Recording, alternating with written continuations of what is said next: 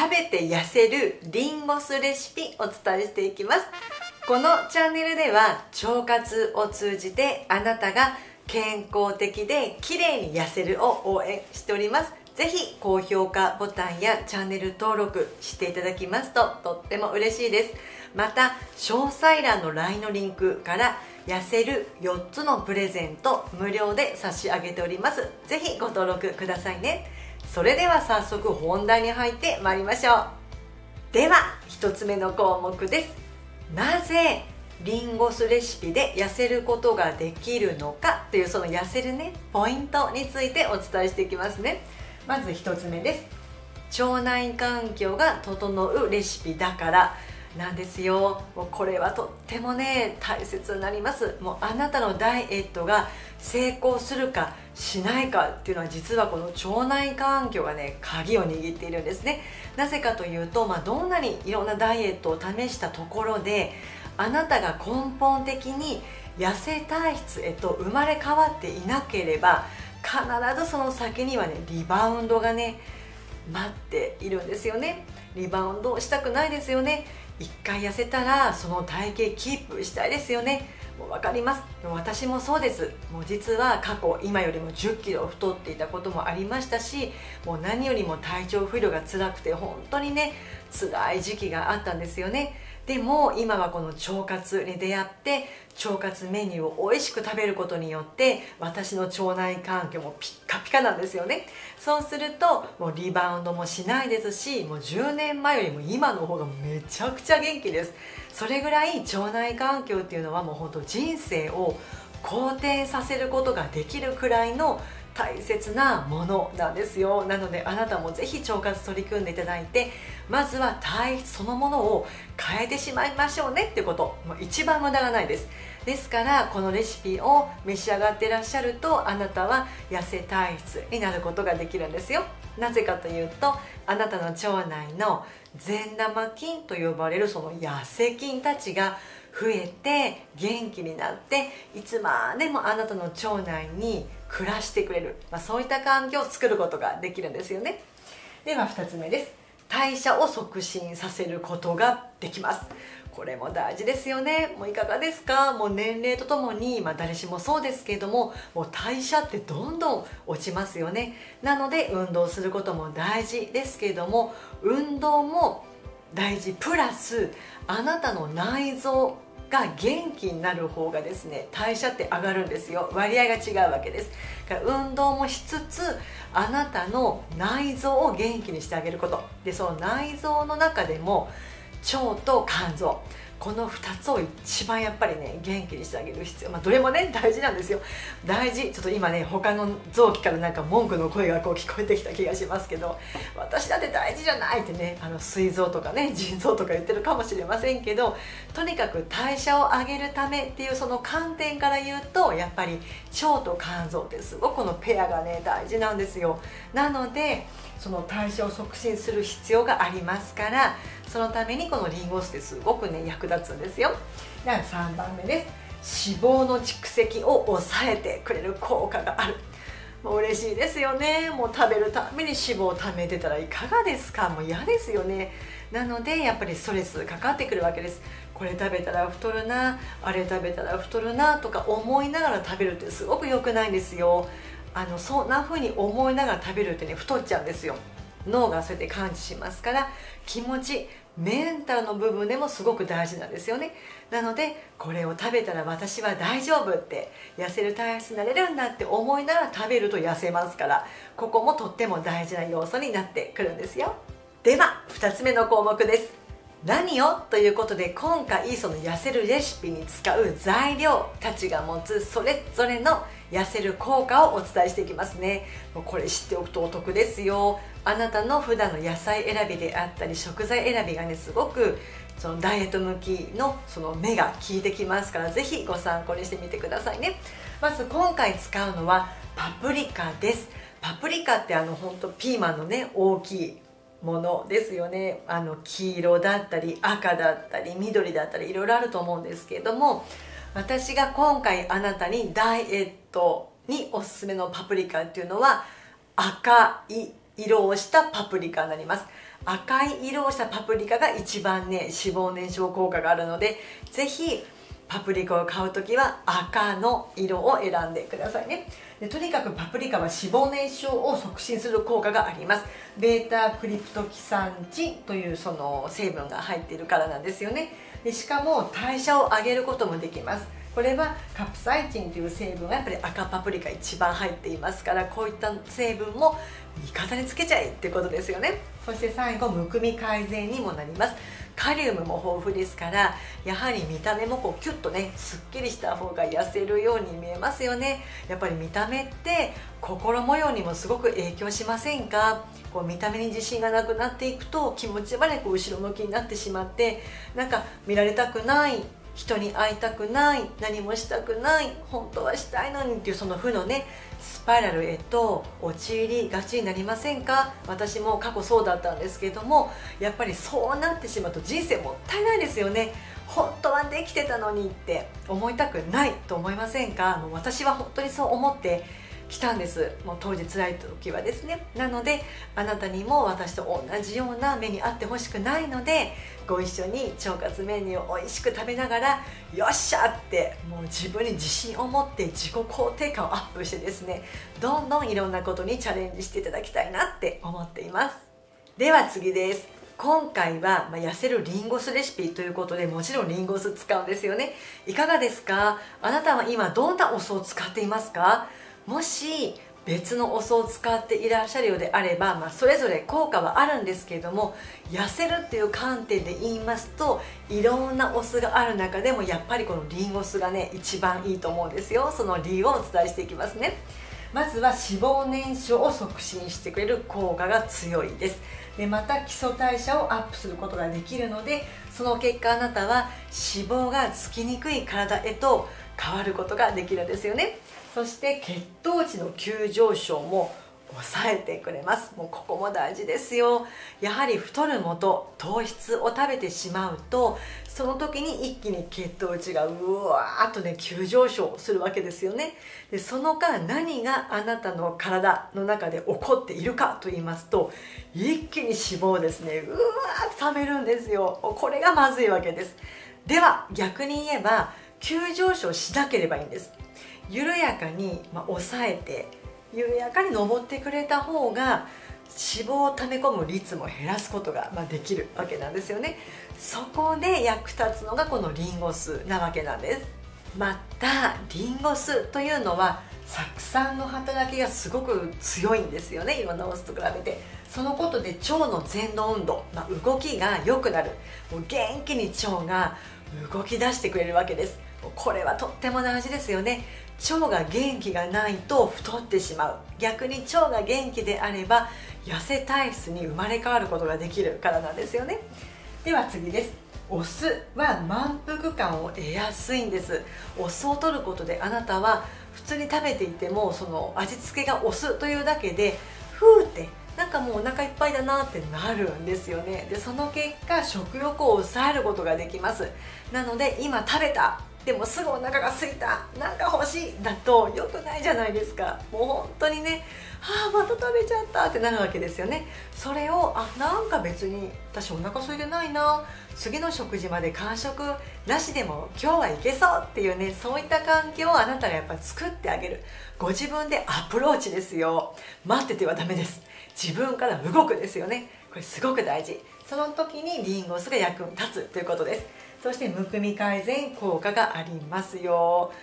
これはあのパプリカと一緒なんですけどもカリウムが入ってますからここでしっかりとですねタプンタプンと水分代謝がうまくいかないともうむくむだけでサイズ全然違いますよね。私のクライアントの方もいらっしゃいますよ。その看護師さんとかもう本当にこうハードなその夜勤があったりとかですね、まあ、介護士さんもそうですけれどもとにかく不規則な生活されてる方っていうのはむくみやすいんですよね。そういった方もおいでなんです私のところにですね。でもとにかくもうむくんでるなってすぐ分かるんですよね。もう触れただけで。もう代謝が悪くなってるから水分をその特に下半身お腹周りお尻周りとか、まあ、太ももとかふくらはぎがもうたっぷんたっぷんなわけです。なので本来の姿じゃないわけですよね。本当はもっと細いはずなのにむくんでるっていうだけでサイズがバーンと変わるわけです。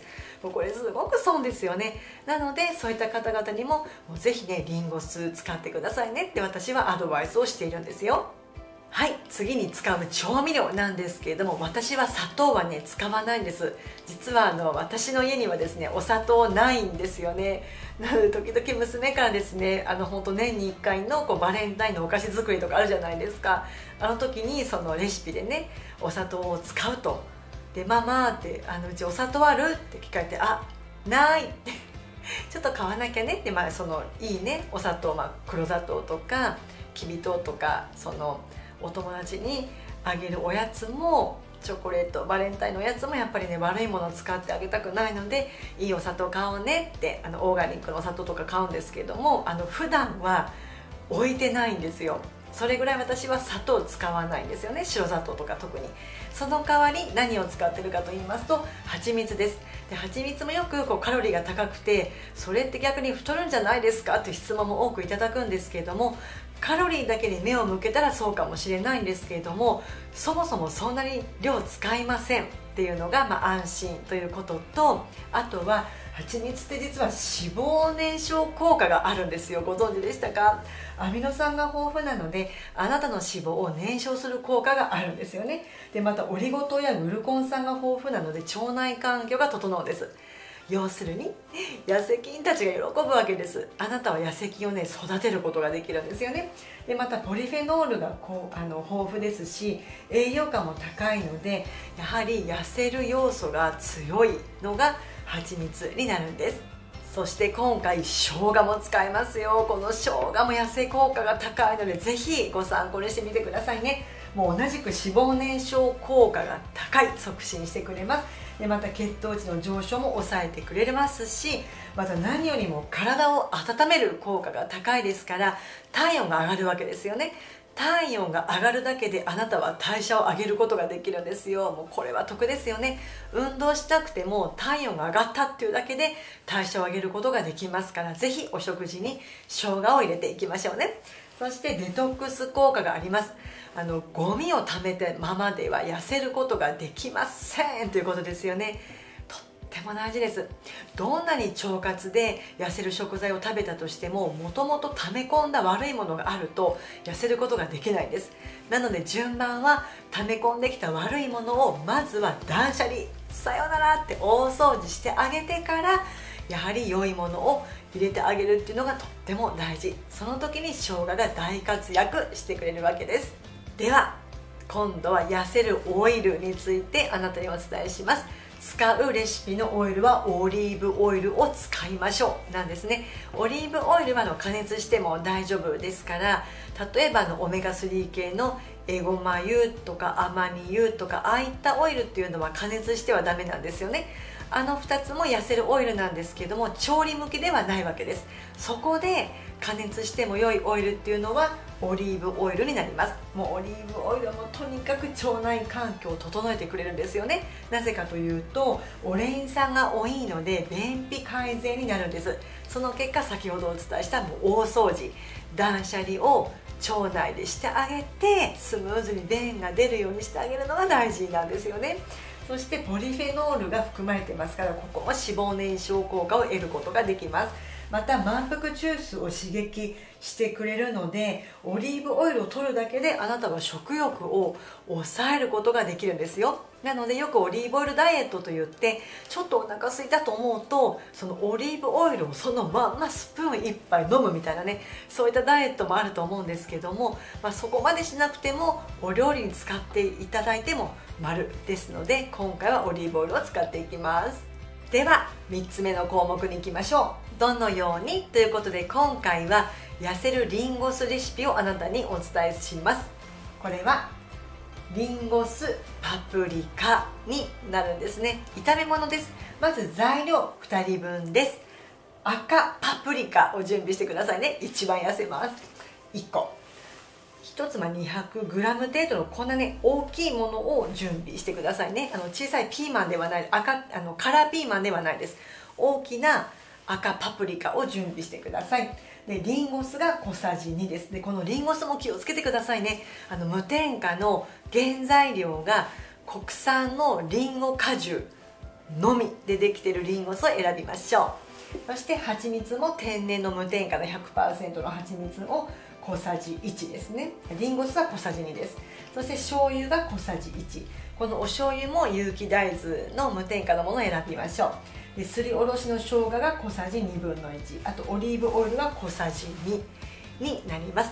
で今から作り方をですね私はあの実演の動画をご準備しておりますので今からそちらの動画をご覧くださいね。もう簡単です。もう油で炒めてオリーブオイルで炒めてこの調味料を混ぜてあえるだけなんですけどもちょっと手順とか量の分量とかすごく目安になると思いますのでまずはそちらをご覧ください。